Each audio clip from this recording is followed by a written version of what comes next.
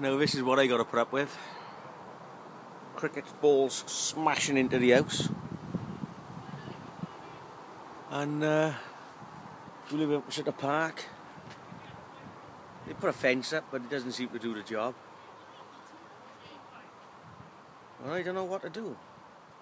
I want some views telling me what to do because you imagine that smacking you in the head.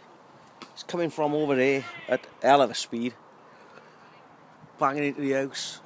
If it hits one of the cars, alright, you got to pay any damages, but if that hits you in the head, I think you're dead.